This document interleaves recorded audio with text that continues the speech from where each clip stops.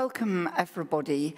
Uh, my name is Dorothy Byrne and I'm the president of Murray Edwards College here at Cambridge, but I'm also the former head of Channel 4 News and Current Affairs, which is probably why they have asked me to chair this session, which undoubtedly is going to be the most important session of the whole festival because we are going to answer the question, or they are anyway, can political innovation come from a crisis? In other words, um, I'm assuming, I don't know about you, that they've got all the answers to everything that is going on. So presumably they thought because I was a journalist, you know, I knew about what was going on.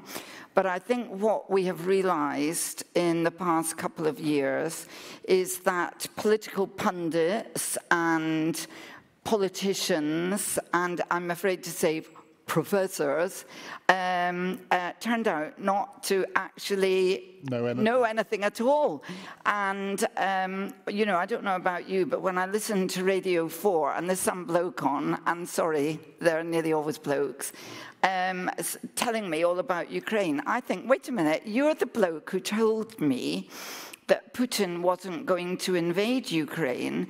And then when they're telling me about COVID, one moment they're telling me not to worry, and then the next moment um, they say that we're all going to die. So, um, but what I would say is that um, they're not quite as bad as our politicians. However, someone has revealed to me the very interesting fact that the large majority of the politicians who've messed up this country actually went to Oxford and that there hasn't been a prime minister from Cambridge for 100 years. So I think Cambridge gets off a bit on that one. Now, although I've slagged professors a bit, um, I, I, am obviously exempting the two fantastic people that we've got with us today.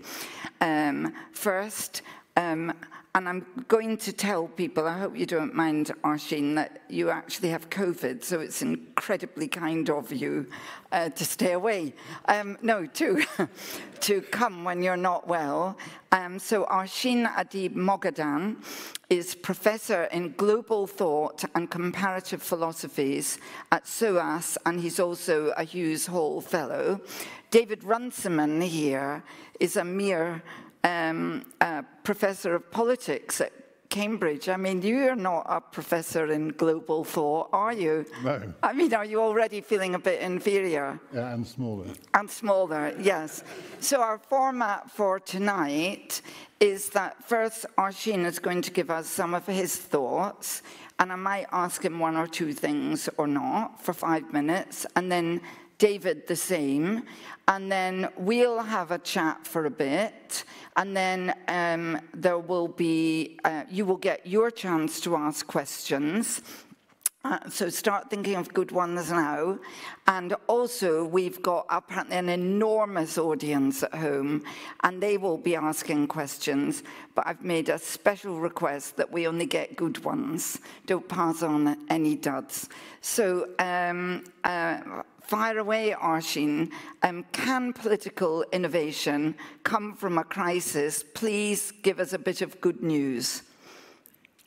Well, to honor my title in uh, global thought and also um, to do justice to what you said about uh, some of the stealthy macho language um, of, of politics, or actually to counter it, I'm going to start with a, with a poem, um, and then I will try to connect it to some of the themes that, that you mentioned. This is a poem called Bani Adam, Humankind, um, by Saadi, a Persian genius really of the 13th century.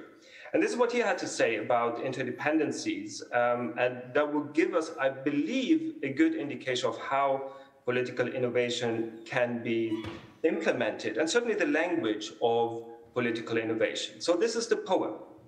Human beings are members of a whole in creation of one essence and soul. If one member is afflicted with pain, other members uneasy will remain. If you have no sympathy for human pain, the name of human you cannot retain.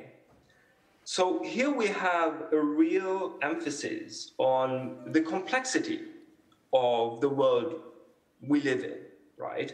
Um, the very fact that Sadi is pointing out here um, that you know things are interdependent, and if one thing happens here, then it has an effect on what happens somewhere else. And the same with um, you know what is happening in Ukraine does have an impact psychologically, mentally, economically, and on every in every realm of human connectivity with what is happening um, uh, elsewhere, certainly in Europe, but globally as well. And I had the same sentiment of interconnectedness when the wars on terror happened, certainly the pandemic, um, and you know, as indicated, the current crisis in in Ukraine. So uh, I do believe that political change can happen, um, but then we would have to think about how and to what end. And I believe an acknowledgement of um, you know, a universality that we are living in, uh, away from the platitudes of globalization, but based on really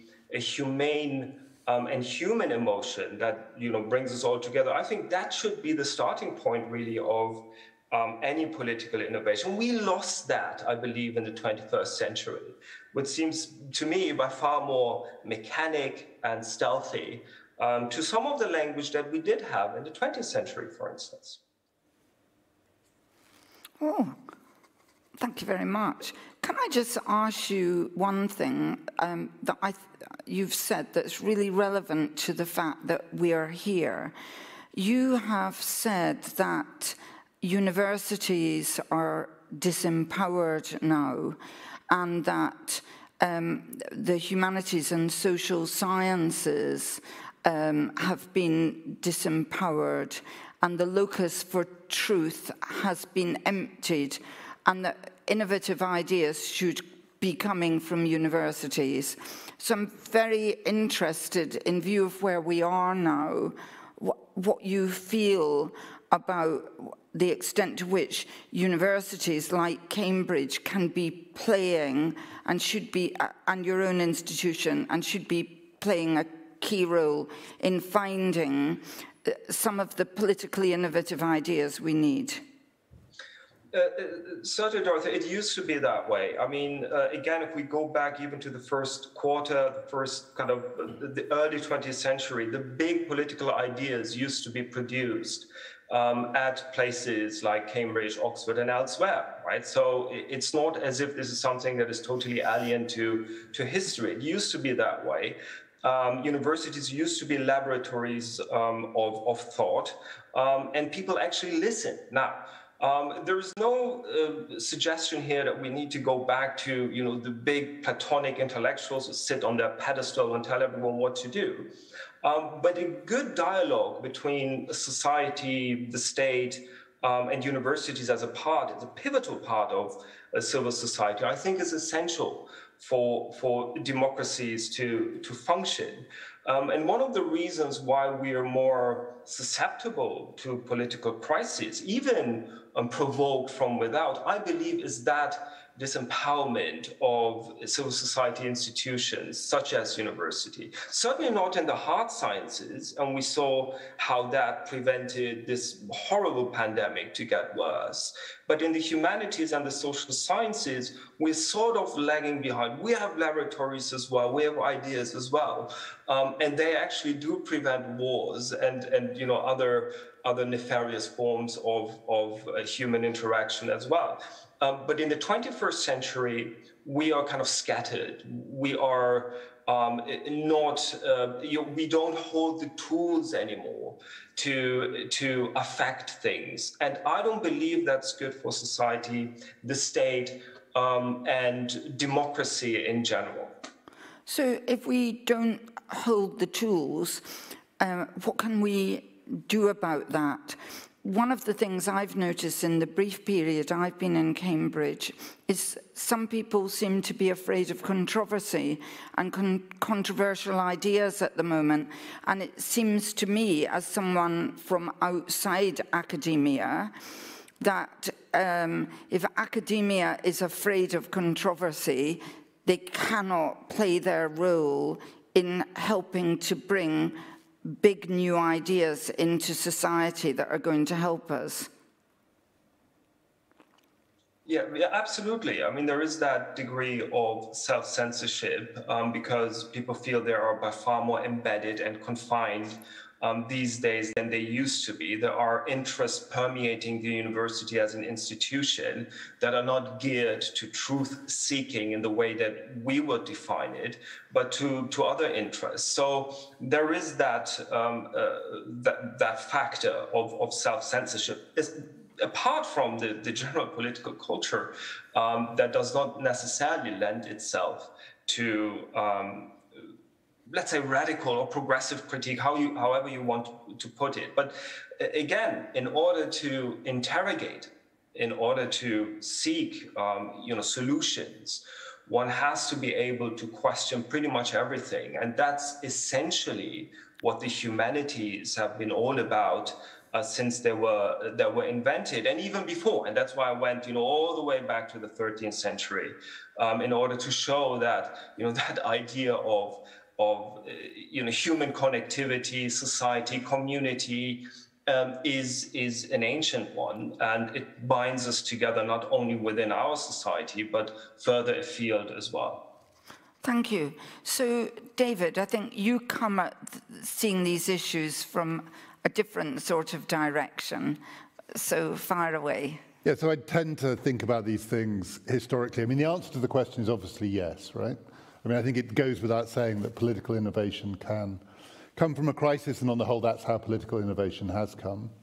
I don't think I'm one of those people who believes that universities are going to be where it starts, but it is true that when a crisis comes, people do look around for ideas. Uh, you know, famously, they often look around for ideas from the past. But the thing that I'm most struck by in the crises of the 21st century, so the financial crisis, I'm seeing this from primarily a Western perspective, but the financial crisis, the COVID crisis, now the Russia-Ukraine war, is that people's responses do tend to be backward-looking.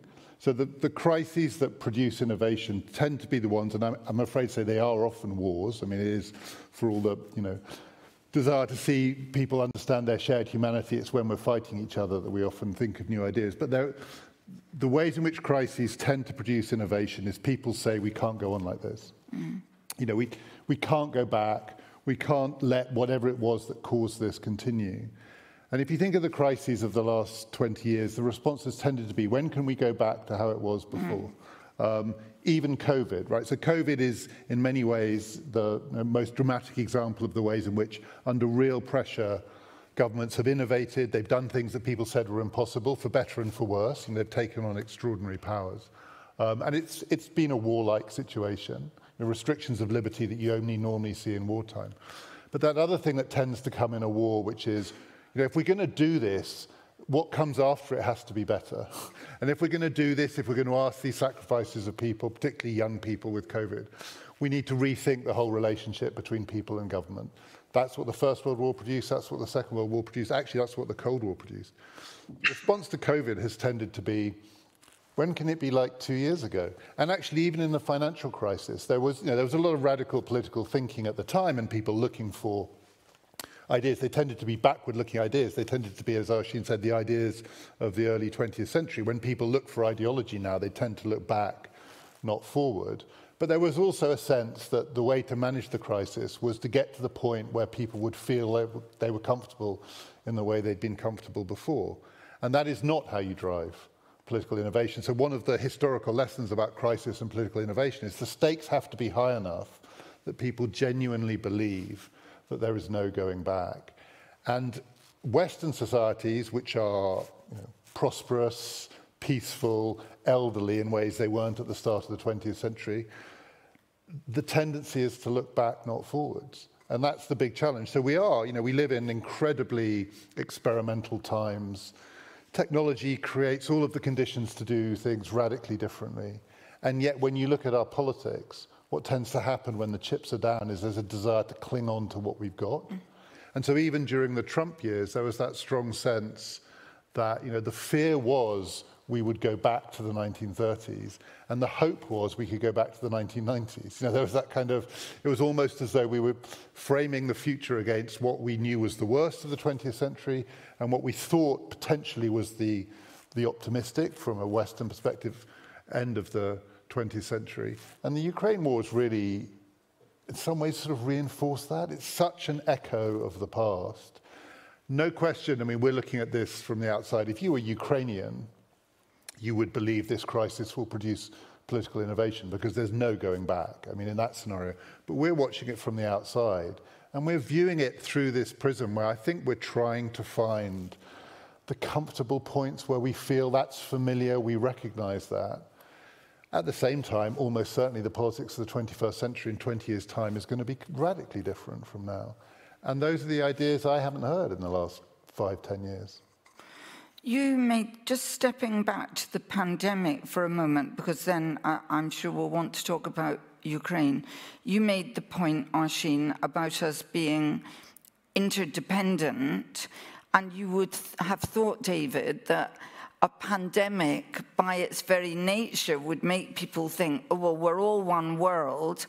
But what actually happened when huge um, scientific in innovation and technological innovation was used to find vaccines in double quick time. The West kept them for themselves and also lots of countries lied and pretended that they didn't have levels of COVID that they did have. I, I, in, when you look at what happened in the pandemic, what are your thoughts about what we didn't learn and what do you think we, we can learn from it? So I think the, first thing that we learned is when, when governments were really afraid in March 2020, they all did their own thing. Um, you know, it did, the, the site of authority fell back on national governments and then in a place like the United States on state governments. You, know, you would have had a very different experience of the pandemic in Florida compared to New York. It was not, it was a global event, but very quickly you saw politics, the authority to take decisions. If you're going to tell people they have to remain in their homes, that comes from national or state governments, it does not come in any global sense.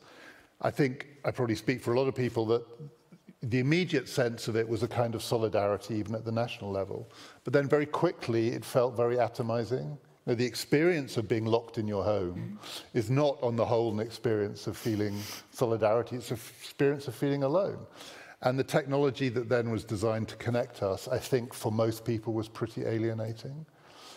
And then on top of that, the pandemic itself was a divisive event because it primarily threatened old people and most of the sacrifices that were being asked were being asked of younger people. It was generationally divisive in a in democratic politics where generational divides are the biggest divides in how people think about the future. So for all, all the ways in which it was a global phenomenon, you know, pandemics, viruses don't recognize whether you're from Florida or New York, for all the reasons that at the start I think most people experienced it as a unifying event, it fragmented very, very quickly. And I, I'm afraid this sounds like a skeptical and maybe cynical response. What I would take from that is that hopes of global events generating a kind of sense of global solidarity for political innovation, for now anyway, still look to me some way off in the future. When these crises hit, the places where political decisions get made are the traditional ones still, and that's where we still are. Because we had a period during which there was a sort of political consensus, um, wasn't there? And Labour, I think you've talked about this, you, you know, tended to go along with yeah. what the Conservatives were, uh, were, were saying and broadcasters were putting up little things, giving out government messages, which I think was perhaps a little bit disturbing and in retrospect was wrong. But there, there was a sort of sense of um, we're all in this together to find the answers, and we seem to have lost that. But so my experience of it, and I, the book I've just published is about this. It was based on some podcasts I did at the time in the first lockdown when this university was shut about the history of ideas and what crisis teach, teaches us about change.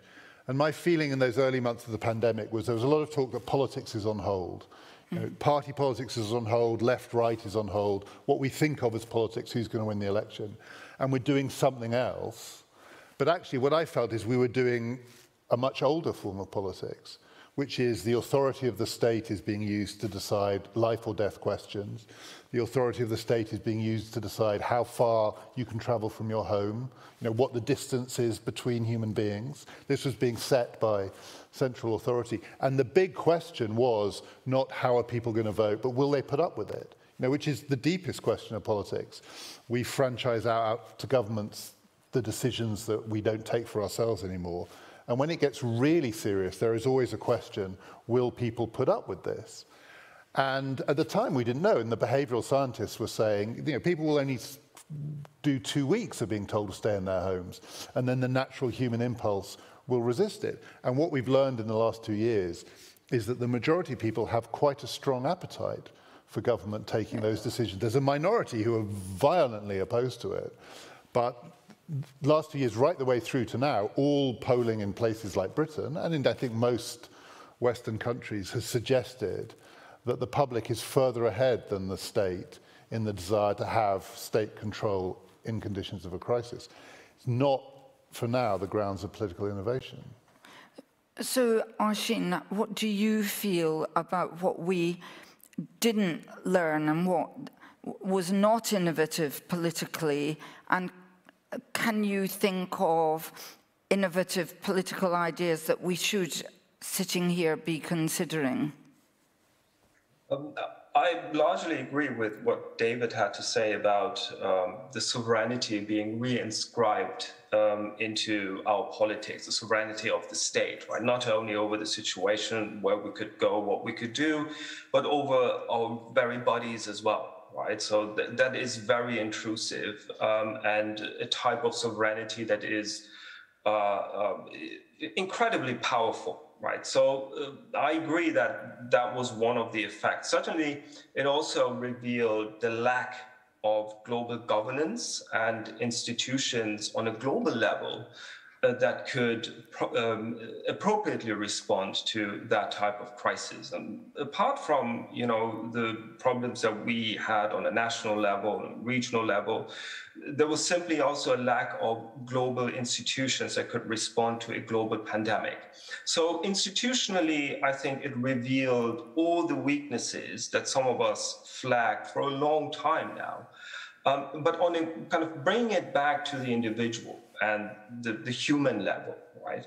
Um, it certainly also show, showed and demonstrated how social we are, right? I mean, we're dealing with a mental health crisis now, um, which is largely due to the isolation that many of us experienced during the pandemic. Um, I don't know how you felt once the lockdown was over. I, I wanted to hug everyone. On the crazy guy running around in Cambridge hugging everyone. That was me, right? So, you know, it was it was almost natural um, to reach out and and and to connect.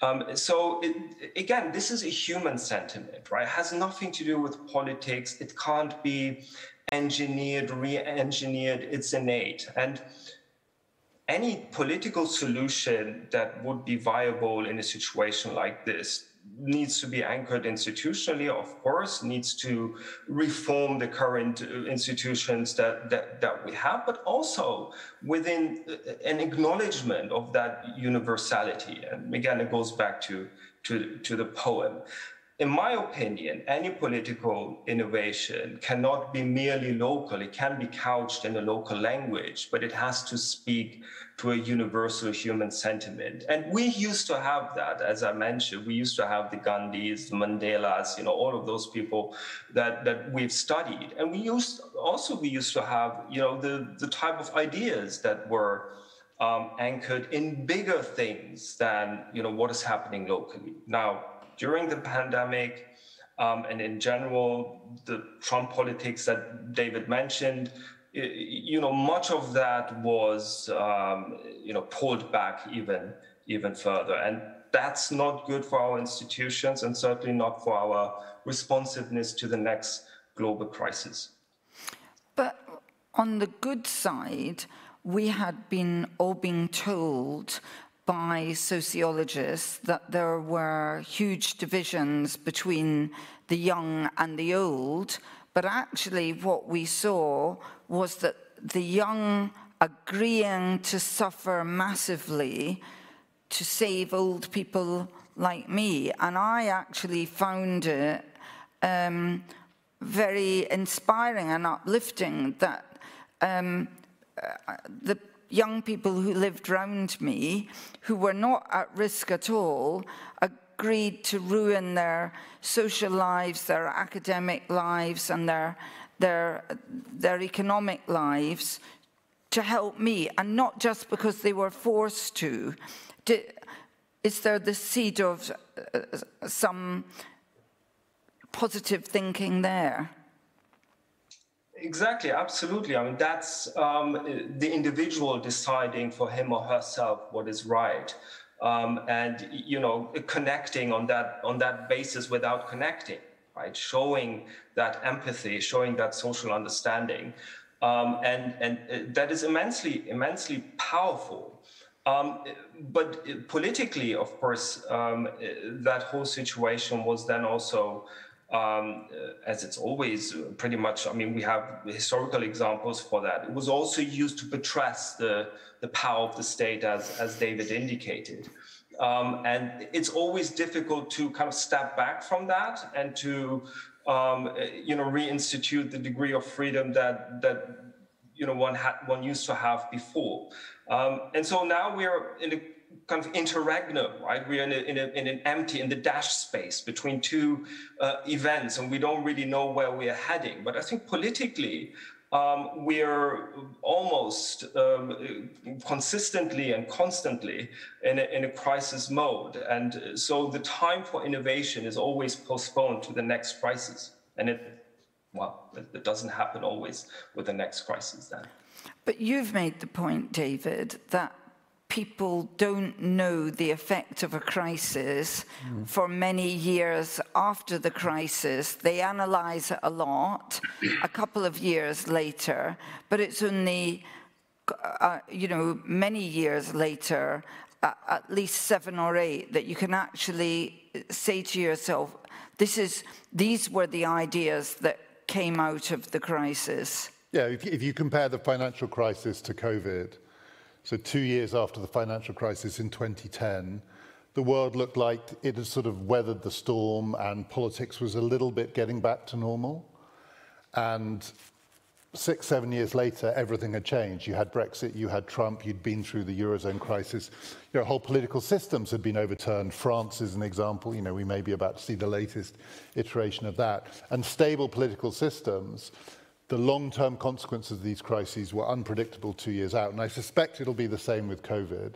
So we're, too, we're, we're in that, like Arshin says, we're in that frozen point where it looks like we've survived the immediate crisis, but all of the distributional, generational, economic and other effects have yet to play out.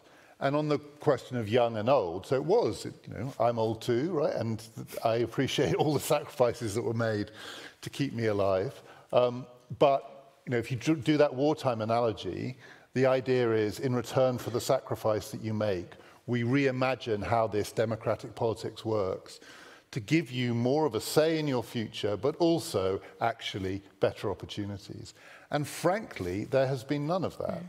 And part of the reason there has been none of that is that we live in very unusual societies when you think about political innovation. And by we, you know, I'm not including most of the world here. I'm, I'm including the, the sort of long-standing liberal democracies, Europe, but also places like Japan and increasingly even you know, inching this way, places like China, not a democracy but getting there, which is we are societies dominated by old people. And that makes a huge difference. So the, the British government has responded to COVID with economic measures that play to their constituency, which is the elderly, mm. by giving them more. There's been almost nothing, um, unless I've missed it, there's been almost nothing comparable to what might have happened after a war, where young people make the sacrifice, they go off, they fight, they die. And this will happen in Ukraine. This will also, in a warped way, happen in Russia. And in return, you build a land fit for heroes, or you make sure this is the war to end all wars, or you create the welfare state, which is a product of the First World War, the Second World War, or you reinvent the education system, whatever it is what we seem to have done is just sort of quadruple lock the pensions. And, and why are young people putting up with it? I mean, well, here we are at a university. Why? Why aren't they uh, burning it down? I, you know, and like, you know, they they gave up so much, and they got Gavin Williamson. Um, why, you know, when I was at university, in my first week, we had, I, I, sat in at the university. That's how I began my university career. And, and I come here and I don't, I don't see that. Well, there is a bit of sitting in going on. Uh, but, but, it, but part of the difference is one of the drivers of uh, political innovation and political change is mass movements of young people. I mean, it always has been. Um, the ideas might come from universities or whatever, but they have to take a hold on the whole of the most dynamic parts of any given society. And if you are young, say in Britain today, your experience of politics is that it is stacked against you. I mean, there is something quite alienating about a democratic political system that just does massively favour a particular constituency. I mean, this is partly just demographics. The reason the baby boomers are called the baby boomers is there are more of them, and they live longer, and they vote more, and they tend to remain in particular mm. places, so young people move to university towns. So Cambridge is now you know, a rock-solid Labour seat, partly because so many young people live here. Unfortunately, if you are young, all the places that you've left behind have all just elected Conservative MPs because your grandparents have just elected them. So yeah, you can sit in, but unlike in the past, in the past it would be possible to say, if all the young people did yeah. X, there are more of you, you're more powerful, you are the change. Now if you say to people under the age of 30, if you all did X, actually it wouldn't make that much difference. Well, yeah, we believed that we could win, and actually in that in those particular battles that we did, we did. Arshin, you've written a lot about movements of um, young people um, in the Arab Spring, and what can we learn from that um, and the and some of the very tragic effects of it about innovative political thinking in a crisis? The Arab Spring was really the first so-called postmodern um, revolt or upheaval that we had um, in the 21st century. And it was different from what happened in the 20th century with the revolutions, whether it was in China or in Iran or Cuba or Russia. Um, and you know that's why scholars called it postmodern. There was no charismatic figurehead, uh, the type of Lenin, Mao, Khomeini, um, Fidel Castro that you saw in the 20th century. There was no all-encompassing ideology, indeed, no utopia of a better tomorrow, um, no recoding of the individual, you know, the perfect, um, let's say, Homo Islamicus or the perfect, you know, worker or whatever it was. Um, none of that. There was no HQ that you could uh, conquer and nullify everything. So, you know, it was very much decentered. Whereas in the 20th century, we we had centers of power, and then you know they aggregated everything, and then it turned into the dystopia of that HQ essentially determining everything. Uh, but the Arab Spring was was scattered, decentralized. It happened on the ethers of the World Wide Web. You know, there was bit of a Facebook revolution going on. And so, you know, it was very different to what we saw in the 20th century. Those revolutions will never come back because they happened exactly the way they did. Um, but the Arab Spring um, could be a blueprint of, you know, what may happen in the future. It was transversal in the sense that, you know, different strata of society were involved, galvanized, um, and you know there was a ripple effect, a domino effect, not only in the region but globally. I remember distinctly, you know, students at St. Paul's, uh, the Occupy Wall Street movement, you know, Syntagma Square in Athens, uh, Madrid. You know, it, it was not only local. The language was local.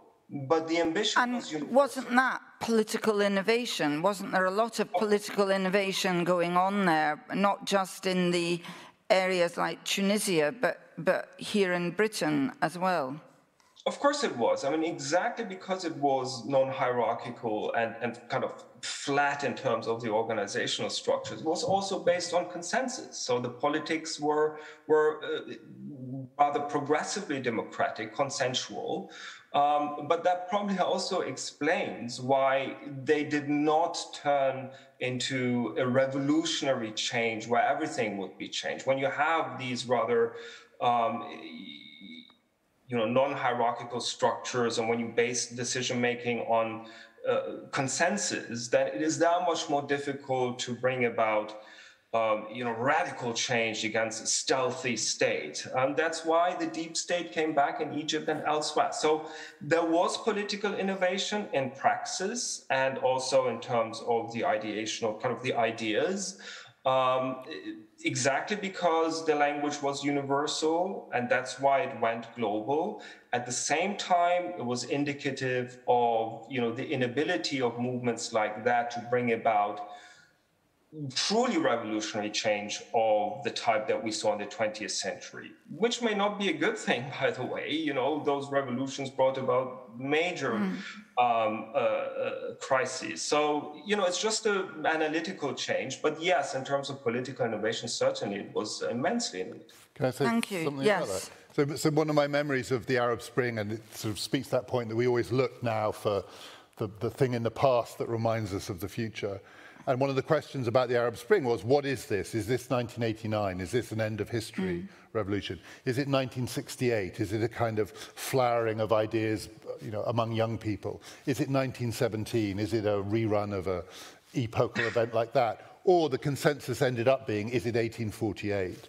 That's the thing that it probably most resembled, going all the way back pre-20th century, the 1848 revolutions, which were driven by technological change and were decentered and so on.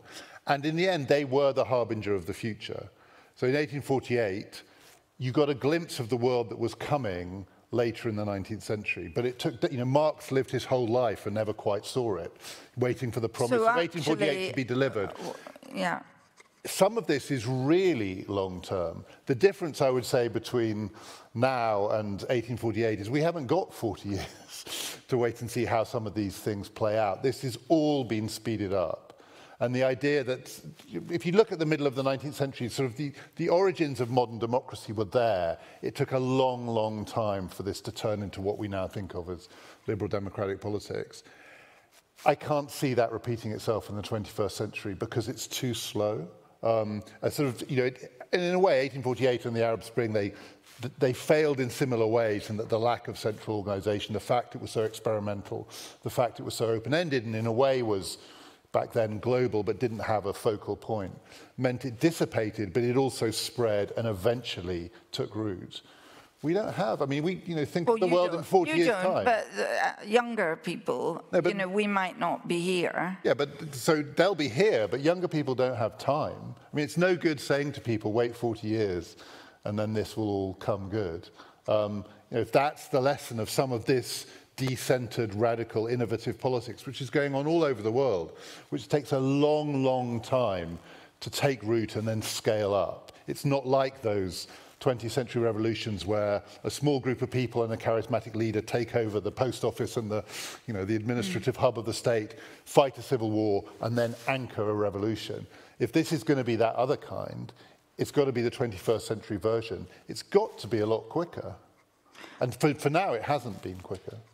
Now, I'm going to come in a moment to the audience, but you have also made the point that um, after the fall of the Soviet Union, we, we thought we knew what was going on and that, uh, you know, the 1930s could never come back again and etc. And, and more recently you said, oh, here we are in the 1930s again, and that, that all the things that we thought we were sure of, we were wrong about, and that the world was a lot more unpredictable than we thought. Yeah, so I don't think we are. So I still think the fears that people had sort of post-Brexit, Yeah, not Britain, yeah. Yeah, but that idea that somehow this was a harbinger of the return of fascism, I always thought that that was enormously overblown. But there's a war going on in Europe which is would be recognizable. I mean, you know, one way to ask the question is if you took someone from Weimar Germany and showed them contemporary America or contemporary Britain and said, Does it look familiar? They would say, No. I mean, it's like you're living in paradise. This is prosperous, secure, non-violent politics. What do you, you think fascism is coming? You've got some, you know, TV guy in the White House. That's not fascism. But if you showed someone from Weimar Germany, Ukraine and Russia, they would say, oh yeah, that's our world.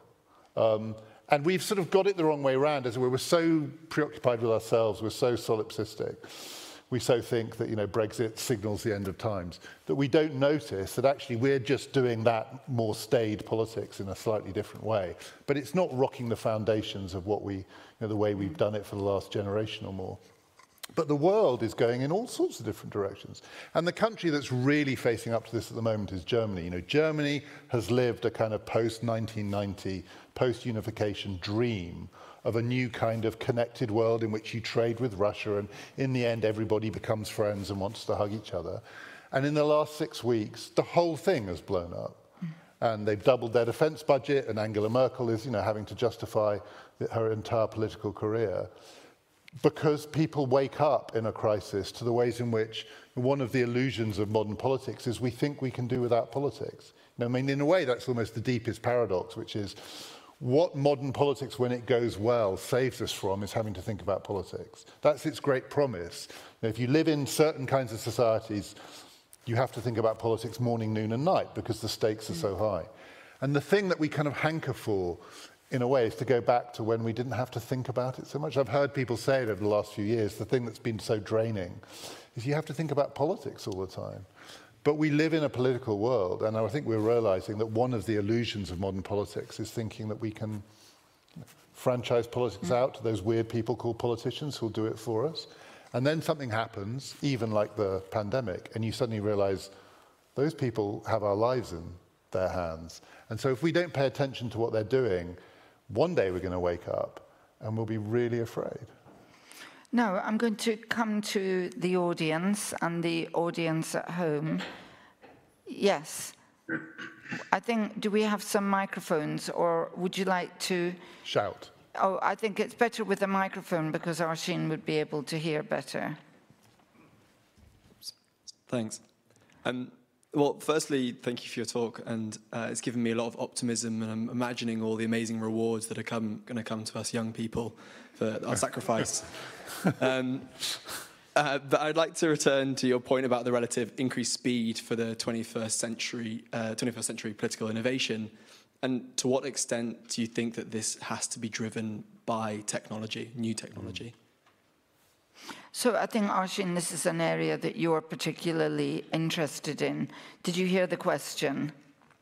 Uh, yes, I did. It was about speed. Um, and, and, and, and, technology. technology. Yeah technology? Well, you know, we're living in a totally different um, world in terms of the techno technological innovations and the capabilities that it gives us um, as civil society to express ourselves. Um, you know, the decision to change things on a local level can be made by each and every one of you. Uh, whenever you step out of this lecture theater, you go on your Twitter site or Facebook um, eh, you know, page, uh, you can innovate, you can change, you can affect, uh, and you can connect. Uh, this is totally different to even my generation. Um, we didn't have this this um, technology behind us to amplify, right? So this is certainly something that affects and has affected politics. But on the other side, and here again, I mean, going back to the Arab Spring, that was a good example of how, what it could do in terms of emancipation,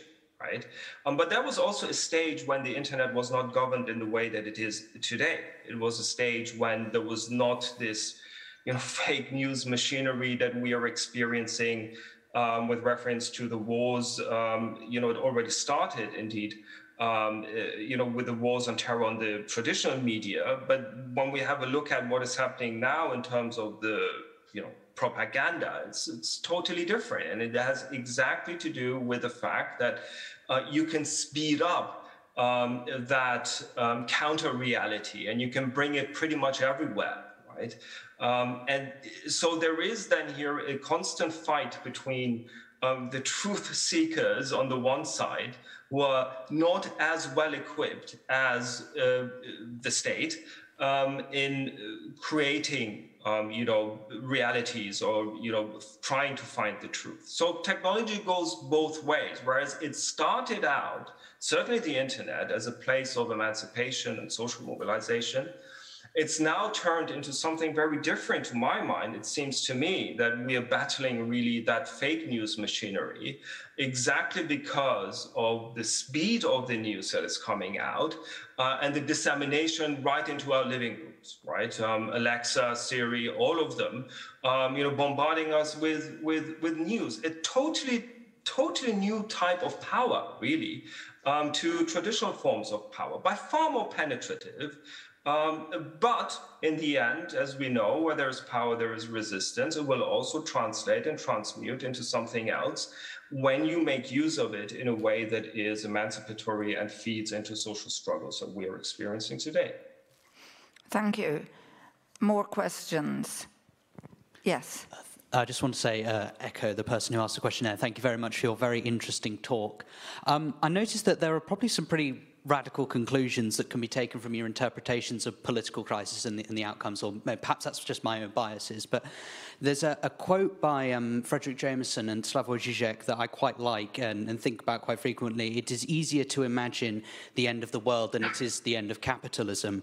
And I was, and often people on the hard left will say that, oh, things are the result of capitalism, they're the result of imperialism. 2008, they'll say COVID or the response to COVID, they'll talk about economic change with China being this neo-imperialistic state. So I was wondering, do you think that liberal capitalism is as good as we can get?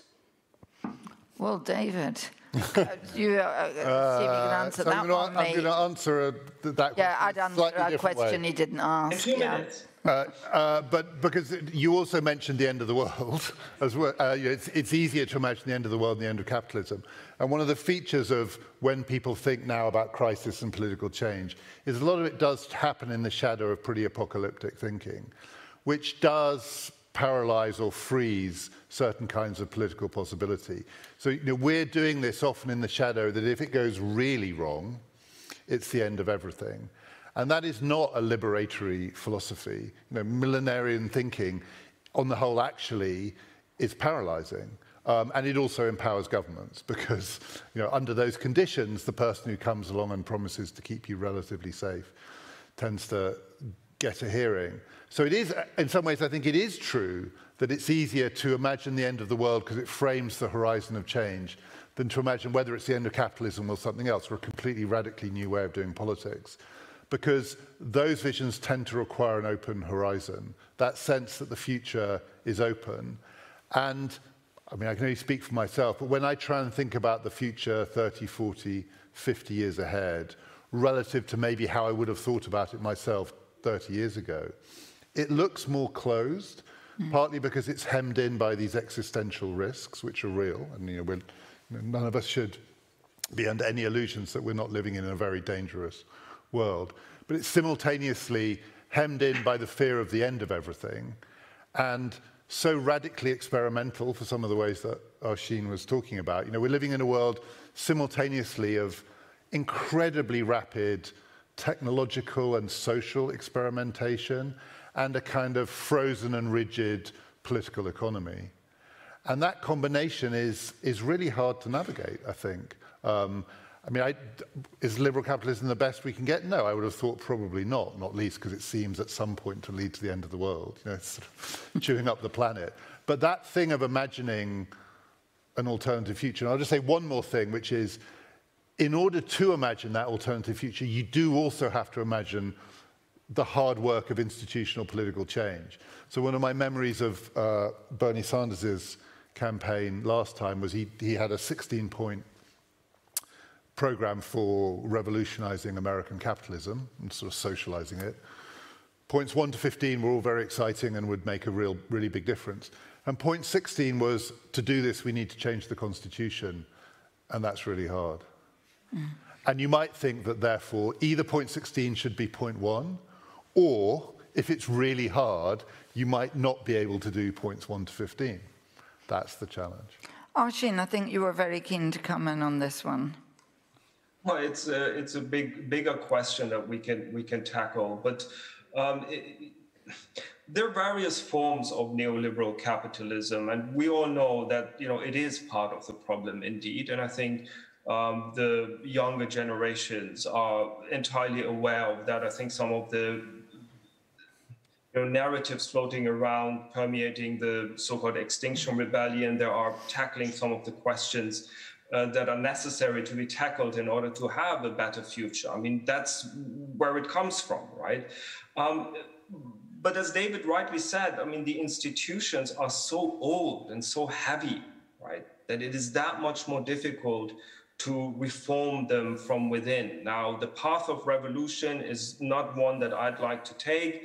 Um, I don't like immediate political change. and usually yields, you know, immense problems uh, for society. I've seen it in Iran. I've studied it in, in Iran, and we've seen it elsewhere. So the only way out of this is to find uh, an economic system that is uh, responsive to uh, you know the strata of society that needs support. We have this in continental europe for instance. There are social market economies that are functioning very well um, where there is a distributional welfare state that actually um, normatively and in actual institutional fact is responsive to um, you know the more disadvantaged strata of society.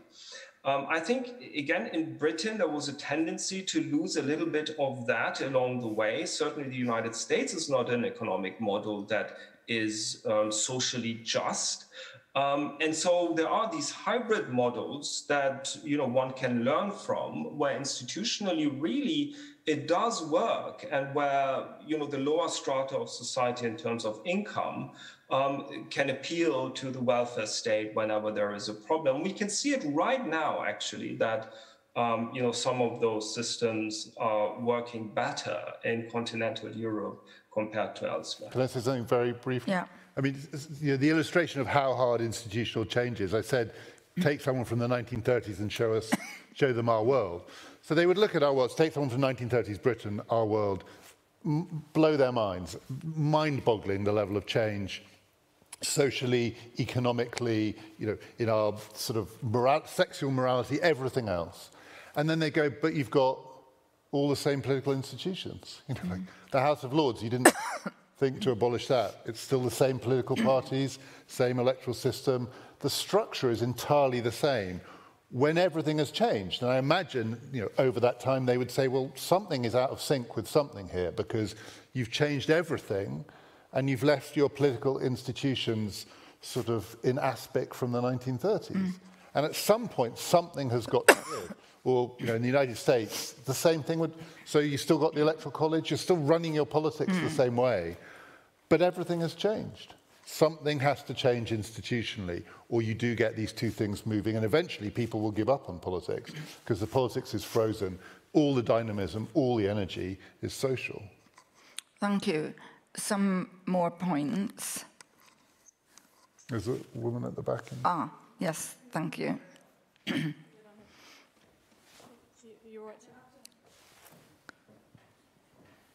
Hello.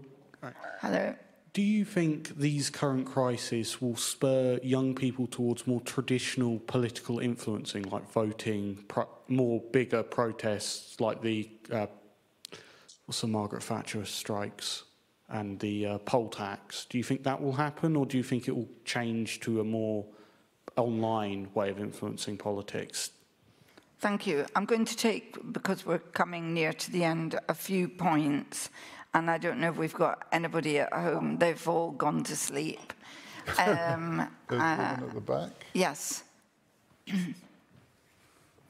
Thank you. That's very insightful. I was just wondering that given um, this, uh, many developments, what would be the centrality of the nation state? Would that still continue to be as important? Uh, and um, also, this is uh, with, say, movements like climate change, which need global uh, addressing, which has failed, and also with, um, say, President Zelensky going to the UN and saying that Article 1 is not being followed. So what's the point of the other articles? So where do multinational organizations come in?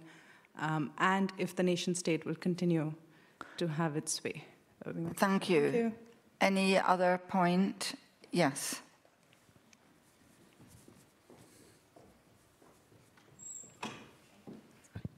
Uh, thank you. I just wanted to ask, um, what can we learn from the pandemic about how to tackle climate change with political innovation? Thanks. Thank you. And I'll take one more. Um, thank you very much. Uh, I was, uh, although you um, didn't seem to mention about innovation, but I thought Cambridge is actually very innovative because of Cam Cambridge Analytica uh, that uses computers and our personal, digital personal um, behavior and targeting um, uh, political messaging.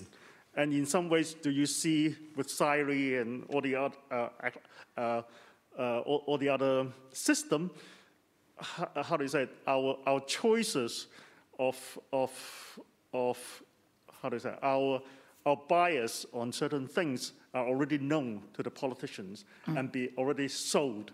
I, I, we don't need to have a, politically, we don't, they will satisfy us through the authoritar uh, authoritarian system.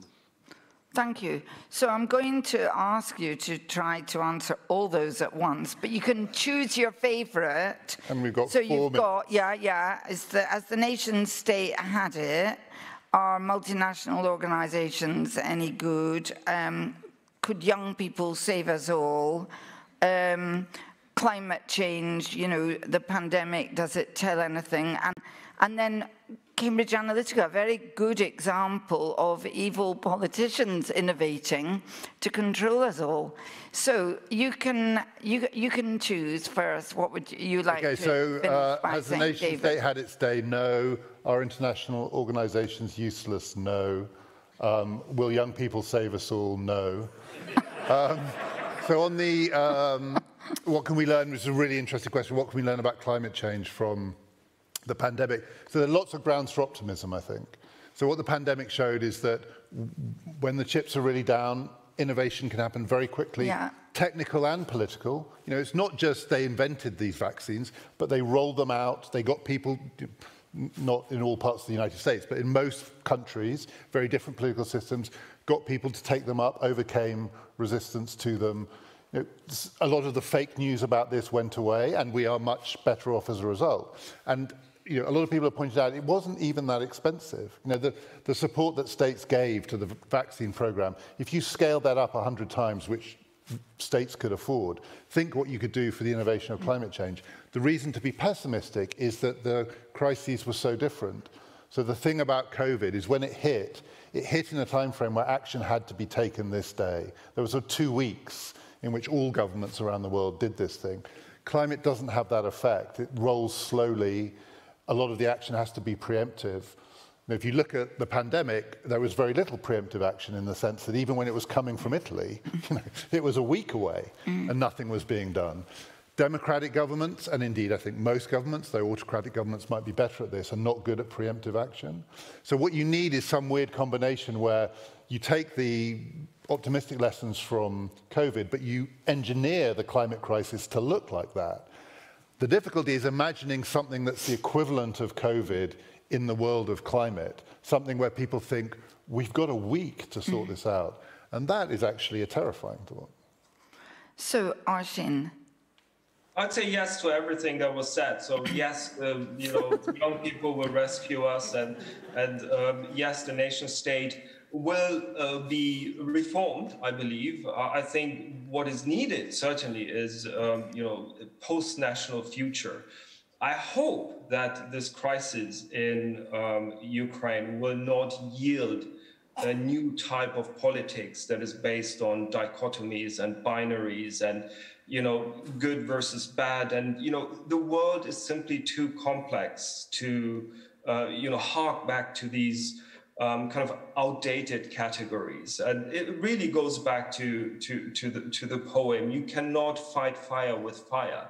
And what I'm seeing right now, unfortunately, and what we're seeing right now is that you know, some of the political formulas that are being articulated are really, really not fit for purpose. The complexity, interconnectedness, interdependencies magnified by artificial intelligence, the new technologies, what was said about Cambridge, uh, Cambridge Analytica, need, require a new type of thinking, a new type of language that is appreciative of these complexities. I don't see it, but I'm hopeful. Thank you very much. And I'd like to thank you both. Um, although you, um, I was a bit sarcastic at the beginning about professors, I think you really did have a lot of very good ideas. And so, and I'd like to thank all the audience. The audience at home, I don't thank them because they didn't come up with any good questions. But um, I, it's been a, a terrific session, so I would like you to join me in thanking our speakers.